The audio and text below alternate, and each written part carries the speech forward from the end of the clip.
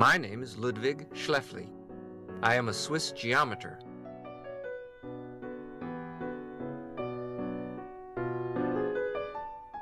I lived during the 19th century, and I'm going to open the door to the fourth dimension for you. Even if I say so myself, I was a visionary. I was one of the very first to understand that spaces with many dimensions really exist, and that their geometry can be studied. If flat creatures living in a plane can understand three-dimensional polyhedra, then why shouldn't we understand polyhedra in four dimensions?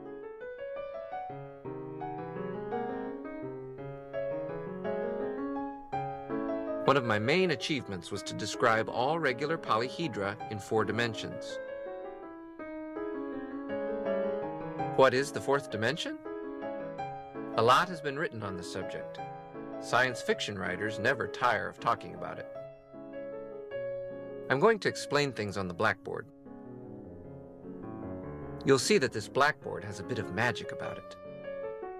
What's important is to prepare yourself to forget about the world which is familiar to us and to imagine a new world that our eyes and our senses have no direct access to. We'll have to be smart, just like the lizards were before. I'm going to climb up to a viewpoint that, unfortunately, you cannot see. And I'll try to describe what I see from there. But before we begin, I'll draw a straight line on the board. Let me just mark the origin here. Each point on this line can be located by its distance from the origin, with a minus sign if it's on the left, or a plus sign if it's on the right. Usually the number is denoted by x and is called the abscissa.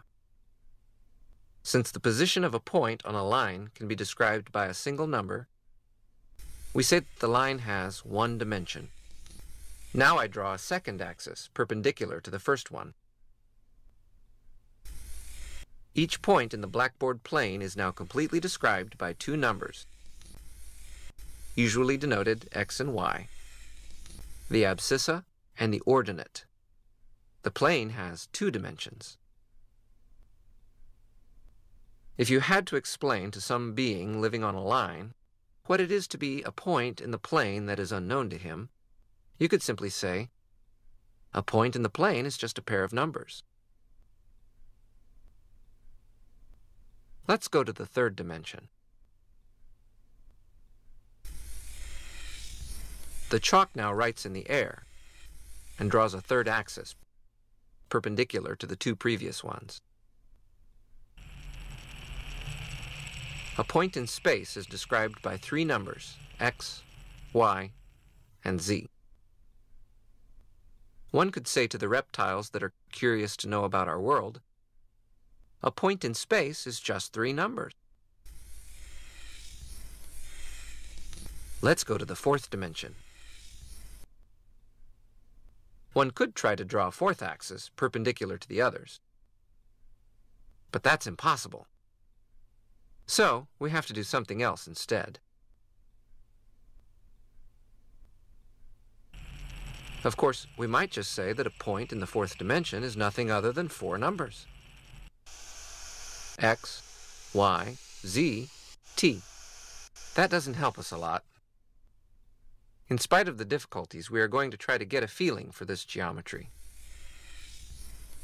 As a first attempt at understanding, we shall proceed by analogy. Here is a segment and an equilateral triangle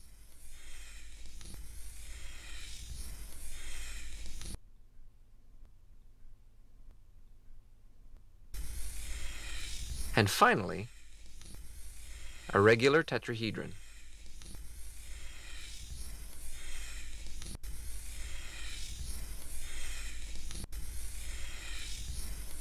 Our magical blackboard enables us to draw in space. How can we keep this up in four dimensions? Observe that the segment, the triangle, and the tetrahedron have two, three, and four vertices, respectively. Therefore, we can try to continue with five vertices. Let's go then. For the segment, the triangle or the tetrahedron, an edge connects each pair of vertices.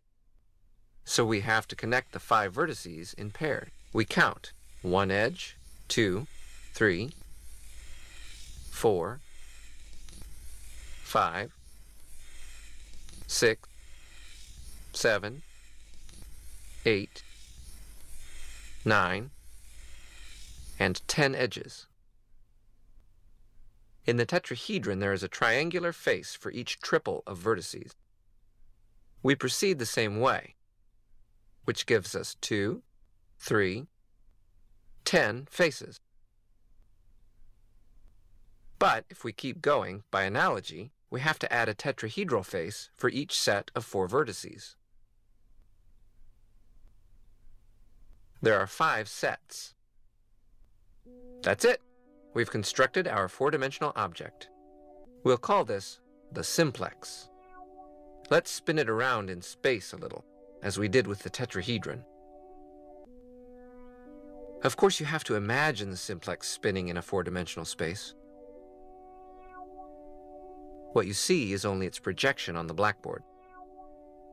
What makes things a bit complicated is that faces get tangled and that they cross each other. Well, some experience is required to be able to see in four dimensions.